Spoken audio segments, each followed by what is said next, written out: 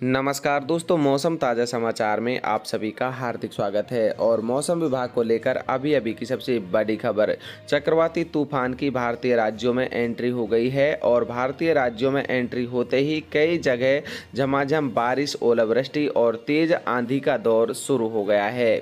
साथियों, अगले 48 से बहत्तर घंटों में कौन कौन से राज्यों में भारी बारिश होगी? कहाँ पर फ़सलों का नुकसान होगा? कहाँ पर तेज आंधी चलेंगी? मौसम विभाग के द्वारा अभी अभी नई लिस्ट जारी कर दी है। साथियों, बता दें, फिर से मुसीबत में किसान आने वाला है, क्योंकि मध्य प्रदेश के लगभग 28 जिलों में बारिश और ओलावृष्टि का अलर्ट जारी कर दिया गया है।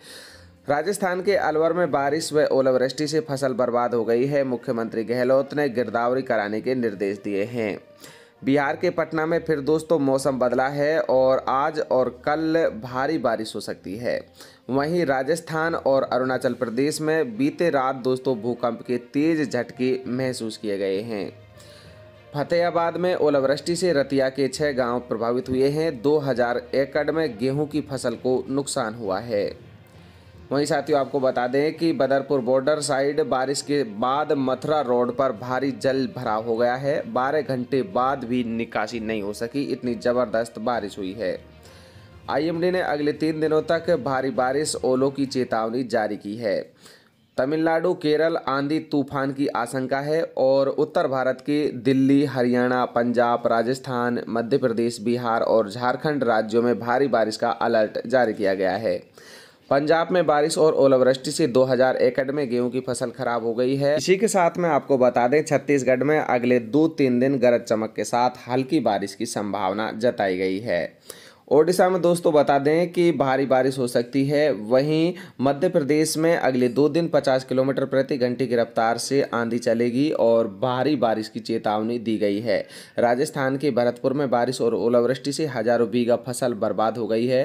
किसानों ने दोस्तों गिरदावरी की मांग की है। तो उत्तर प्रदेश में किसान भाइयों को सावधान कर दिया गया है। यूपी में आज और कल आंधी तूफ़ान के साथ बारिश का अनुमान लगाया गया है। तेईस ज़िले यहाँ पर हाई अलर्ट पर रखे गए हैं।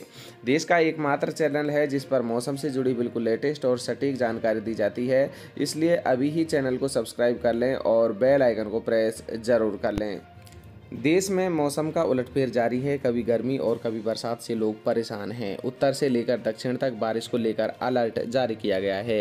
मौसम की जानकारी देने वाली स्काईमेट वेदर के मुताबिक कल और परसों तमिलनाडु, केरल में आंधी पानी की आशंका है और इसके लिए चेतावनी जारी कर दी गई है।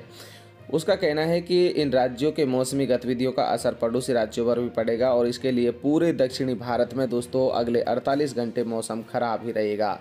हालाँकि कर्नाटक, तमिलनाडु, आंध्र प्रदेश और तेलंगाना में हल्की बारिश के आसार जताए गए किसान भाइयों, बताते चले, एक जो साइक्लोनिक प्रेशर है, यानी कि चक्रवाती तूफ़ान का भंवर है, वो छत्तीसगढ़ के ऊपर बनता दिख रहा है, जिसकी वजह से यहाँ पर तेज बारिश की आशंका बनी हुई है।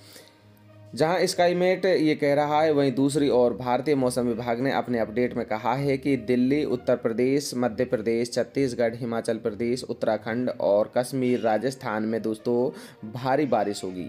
दिल्ली में बीते रात जमकर बरसात हुई, जिसकी वजह से आज मौसम यहाँ पर खुशनुमा बना हुआ है। हालाँकि आज भी यहाँ बादल छाए हुए हैं और अगले 24 घंटे तक यहाँ पर बरसात हो सकती है। बारिश की वजह से मौसम हल्का सा दोस्तों सर्द हो गया है। अगर एनसीआर की बात करें तो नोएडा में आज न्यूनतम तापमान 15 डिग्री ही पहुँच गया है और अब दोस्तों देख लेते हैं बारिश और ओलावृष्टि की कहाँ कहाँ आशंका है। तो उत्तर प्रदेश के 32 जिलों मध्य प्रदेश के 14 जिलों और राजस्थान के 10 जिलों में बारिश और ओलावृष्टि के साथ तेज अंधड़ की आशंका बनी हुई है। जिसकी वजह से लोगों को परेशानी का सामना करना पड़ सकता है। महाराष्ट्र, गोवा, कोकण, तमिलनाडु, कर्नाटक, आंध्र प्रदेश और पूर्वोत्तर के राज्यों में भी तेज बारिश का अनुमान है और पहाड़ों पर भी बारिश की आशंका बनी हुई है। मौसम से जुड़ी बिल्कुल लेटेस्ट और सटीक जानकारी पाने के लिए चैनल को अभी ही सब्सक्राइब कर लें और बेल आइकन को प्रेस कर लें। साथ ही आप हमारी वीडियो किस राज्य से देख रहे हैं, कॉमेंट बॉक्स में हमें अवश्य बताकर जाएँ। धन्यवाद दोस्तों। जय हिंद, जय भारत, वंदे मातरम।